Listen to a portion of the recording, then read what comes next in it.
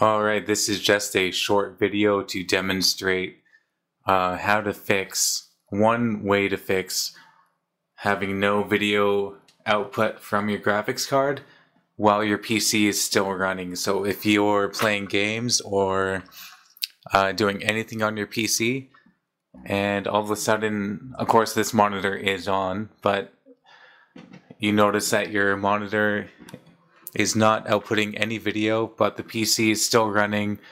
Graphics cards, fans are still spinning.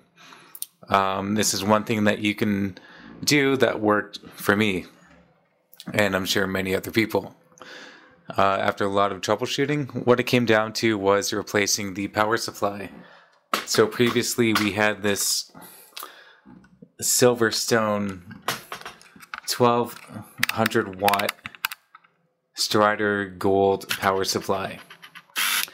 Okay, and now it's pretty strong power supply. This thing is running a uh, GeForce GTX 1080 Ti graphics card with an Intel i7 4930K CPU, um, 64 gigs of RAM.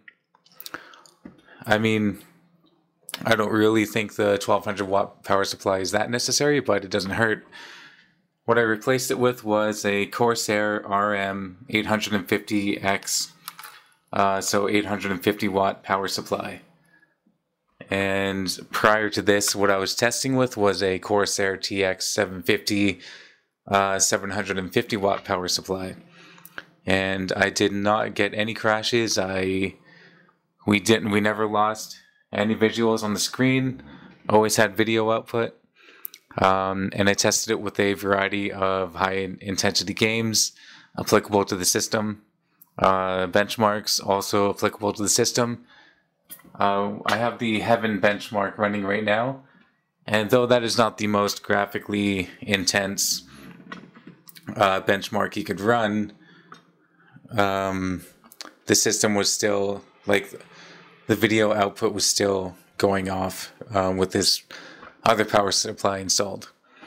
So hopefully this helps you out. If you have any questions or feedback or something else that worked for you, leave a message in the comments and I'd love to talk to you there. Thanks for watching.